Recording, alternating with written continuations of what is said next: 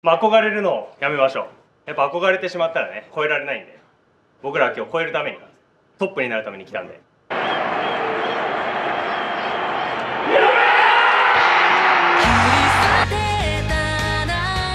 みんな自身が日本代表です。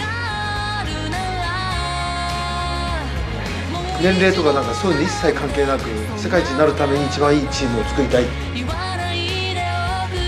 最高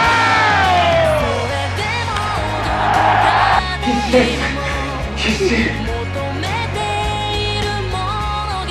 最後まで一緒に行くぞ。